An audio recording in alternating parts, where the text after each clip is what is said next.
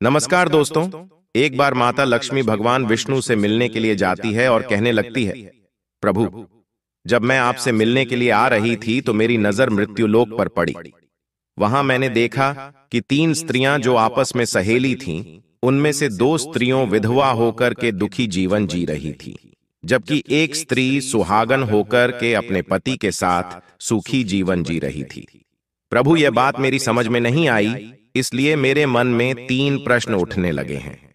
अब मैं आपसे यह चाहती हूँ कि आप मेरे तीनों प्रश्नों के उत्तर दे करके मुझे संतुष्ट करने की कृपा करें। मित्रों, इस प्रकार माता लक्ष्मी की बात को सुनकर भगवान विष्णु कहते हैं कि, लक्ष्मी, तुम मुझे अपने तीनों प्रश्नों को बताओ। मैं तुम्हें तुम्हारे प्रश्नों के उत्तर देकर के पूरी तरह संतुष्ट करने का प्रयास करूँगा। तब माता लक्ष्मी कहती है प्रभु, मेरा पहला प्रश्न है कि कौन सी स्त्री समय से पहले विधवा हो जाती है?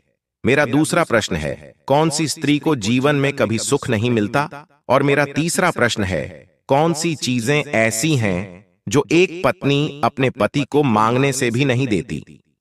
मित्रों, इस प्रकार माता लक्ष्मी के प्रश्नों को सुनकर के भगवान विष्णु कहने लगे, तुम जिन स्त्रियों की बात कर रही हो, उनमें से दो स्त्रियों विधवा होकर अपना दुखी जीवन जी रही है और वहीं पर एक स्त्री सुहागन होकर के अपने पति के साथ में अपना सुखी जीवन जी रही है। तुम जानना चाहती हो आखिरकार ऐसा क्यों है? तो मैं तुम्हें एक छोटी सी कहानी सुनाता हूँ। इस कहानी को बहुत ही ध्यान से सुनना। आधी अधूरी कहानी सुनने वालों को आधा अधूरा ही ज्ञान प्राप्त होता है। जो जीवन में कभी काम नहीं आता क्योंकि तुम्हारे तीनों प्रश्नों के उत्तर इसी छोटी सी कहानी में समाये हुए हैं यदि तुमने ध्यान से सुना तो तुम्हारे तीनों प्रश्नों के उत्तर तो अवश्य मिलेंगे और तुम्हें संतुष्टि प्राप्त होगी। मित्रों, माता लक्ष्मी कहती हैं, प्रभु से कि आपकी बात से सहमत हूँ। आप कहानी शुरू करो। मैं कहानी को पूरी मन से सुनूँगी और जब तक आप कहानी बोलेंगे, तब तक मेरा मन किसी दूसरे स्थान पर नहीं जाएगा। तो मित्रों, कहानी शुरू करने से पहले मेरा आप सभी से अनुरोध है कि आप हमारे प्राचीन ज्ञान यूट्यूब चैनल को सब्सक्राइब अवश्य करें और कहानी के अंत तक बने रहे। क्योंकि आज की कहानी आपके लिए बहुत ही महत्वपूर्ण होने वाली है। तो चलिए आज कुछ नया सीखने वाले हैं। भगवान विष्णु कहते हैं हे लक्ष्मी सबसे पहले मैं तुम्हें उस स्त्री की कहानी सुनाता हूँ जो सुहागन बनकर के सुखी जीवन जी रही है जिस सुहागन स्त्री की तुम बात कर रही हो वह स्त्री एक राजा के नौकर की पत्नी है और जिस नौकर की वह पत्नी है उस नौकर को अपनी पत्नी पर पूर्ण विश्वास और भरोसा है कि वह पतिव्रता है जिसकी महिमा वह अपने साथियों में बार बार करता है। अब देखो एक दिन की बात है।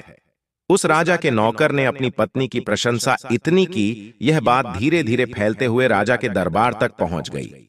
फिर तो राजा ने अपने नौकर को बुलाया और उस नौकर से कहा कि तुम हर किसी से कहते हो कि तुम्हारी पत्नी पतिव्रता है क्या वास्तव में आपकी पत्नी पतिव्रता है?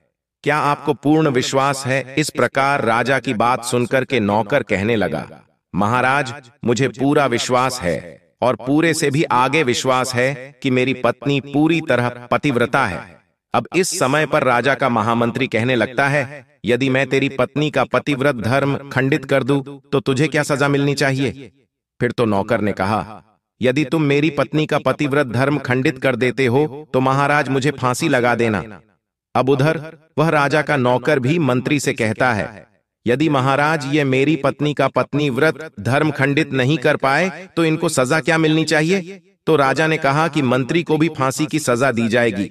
फिर भगवान विष्णु कहते हैं, लक्ष्मी मंत्री ने स्वीकार कर लिया और नौकर से पूछा कि क्या वस्तु लाओ? जिसे तो माने कि मैं तेरी पत्नी का धर्म खंडित करने में सफल हुआ तो नौकर ने कहा, मंत्री यदि तुम मेरे घर से जाकर के मेरे विवाह के समय पर मुझे एक चैन मिली थी और एक पटका मिला थी वह मेरी पत्नी ने बहुत ही संभाल कर रखी है। जो सुहाग की निशानी मानी जाती है यदि तुम पटका और चैन लाकर मुझे दिखा दें तो मैं मान जाऊँगा कि मैं मेरी पत्नी का धर्म तो तुमने पूरी तरह नष्ट कर दिया है।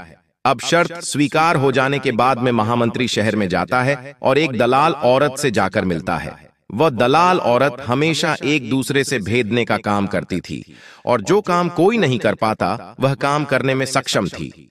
फिर इस प्रकार उस मंत्री ने उस दलाल औरत को अपने स्वार्थ के लिए बुलाया और दलाल औरत से कहा कि देखो, इस नाम का एक व्यक्ति है, एक व्यक्ति उससे मेरी शर्त लगी है, और फिर उसने उसे शर्त के बारे में उसको सारा कुछ बता दिया, फिर बहादुरी से कहने लगा तुम कैसे भी करके उस स्त्री से मेरा संपर्क करवा दे।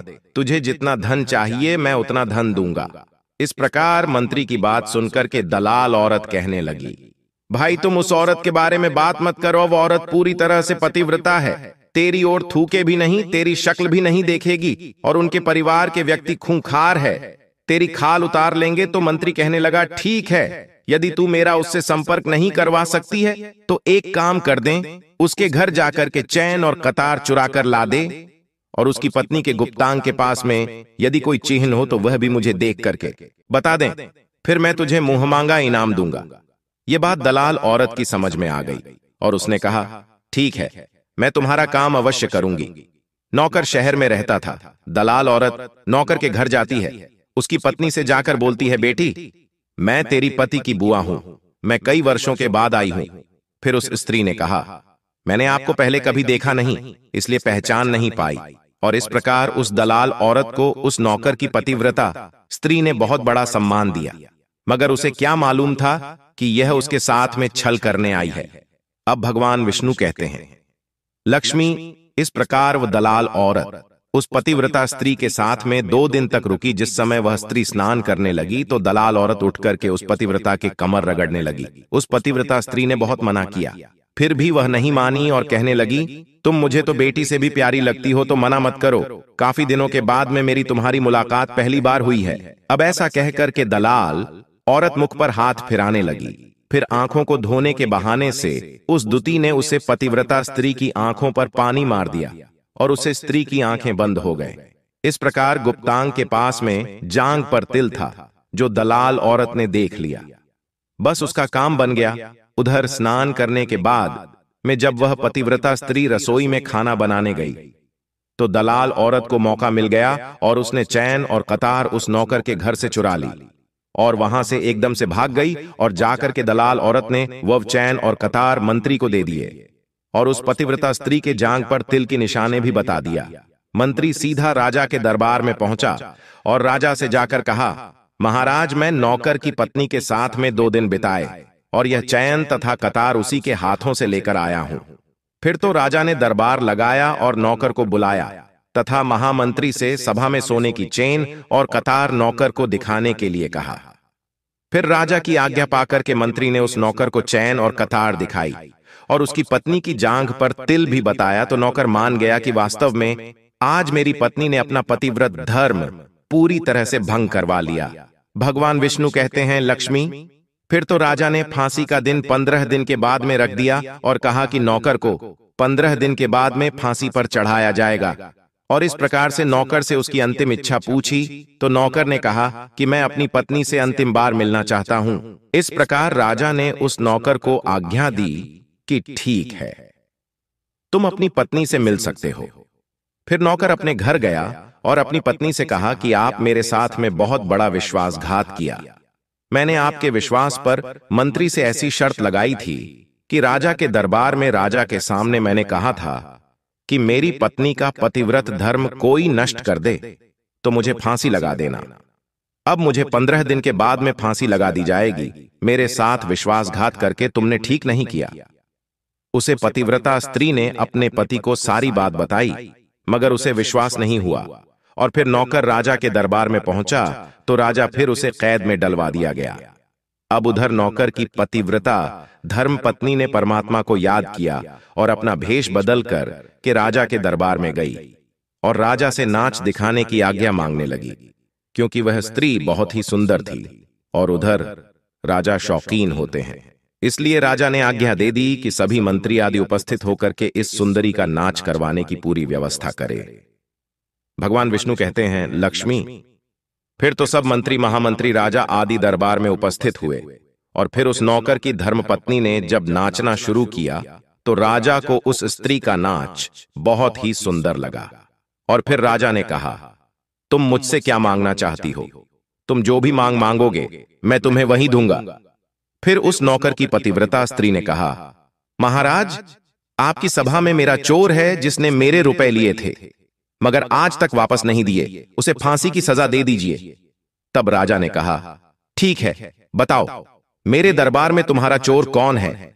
उसका नाम क्या है? मैं उसको फांसी की सजा अवश्य दूँगा। भगवान विष्णु कहते हैं, फिर उस नौकर की पतिव्रता। स्त्री ने कहा, महाराज, आपका मंत्री मेरा चोर है। आप इनको फांसी की सजा अवश्य दें। अब उधर जैसे ही मंत्री ने सुना कि यह सुंदरी मुझे अपना चोर बता रही है तो मंत्री कहने लगा, महाराज, मैं कसम खाकर कहता हूँ कि मैं इसका कभी कुछ नहीं छुराया है। मैंने इस औरत को आज तक कभी देखा ही नहीं है तो मैं चोरी कैसे कर सकता हूँ? मैं आज तक इसकी शक्ल ही नहीं देखी है। अब भगवान विष्णु कहते हैं, लक्ष्मी जैसे ही मंत्री ने कहा कि मैं सुंदरी की आज तक शक्ल ही नहीं देखी है तो वह सुंदरी कहने लगी, महाराज, यह मंत्री मुझे जानता नहीं है तो आप इसे यह पूछो, ये सोने की चेन और कतार कहाँ से लाया था? मैं उस नौकर की पत्नी हूँ, जो आपके यहाँ पर नौकरी करता है, और आप मेरे निर्दोष पति को फांसी चढ़ने वाले हैं। अब मैं आपको पूरी दास्तां सुनती हूँ, यह जो आपका मंत्री है। इसने मेरे पास में अपनी एक औरत को भेज करके मेरी जांघ के तिल का पता लगाया और उसी ने यह चैन और कतार चुरा करके इसको ला करके दी। और आपके मंत्री के द्वारा भेजी गई जब मेरे घर पर आई थी तो उसने मुझसे कहा था कि वह मेरे पति की बुआ है और वह पहली बार आई है इसीलिए मैं उसको पहचान नहीं सके।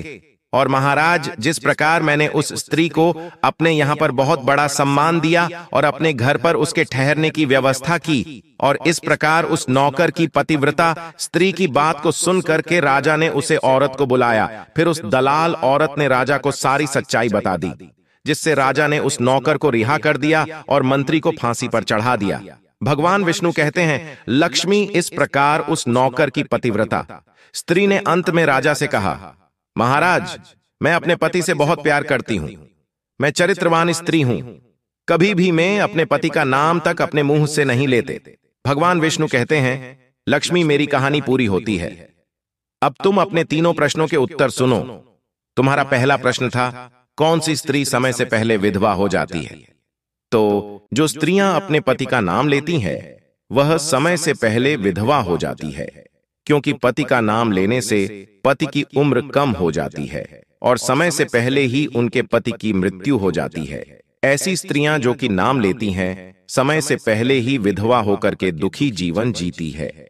बस यही राज की बात है कि तुम जिन तीन सहेलियों की बातें कर रही थीं, उनमें से दो विधवा थीं और एक यह नौकर की पत्नी थी। जो पतिव्रता स्त्री थी यह पतिव्रता स्त्री कभी भी अपने पति का नाम मुँह से नहीं लेती थी और उधर वह दो स्त्रियों जो विधवा होकर जीवन दुखी होकर जी रही हैं, वह हमेशा अपने पति का नाम लेकर ही बुलाती थी। जिसकी वजह से उनके पति की उम्र कम हुई और फिर वह दोनों स्त्रियाँ समय से पहले ही विधवा हो गईं और आज वह दुखी जीवन जी रही है। इसलिए कभी भी स्त्रियों को अपने पति का नाम अपने मुँह से नहीं लेना चाहिए।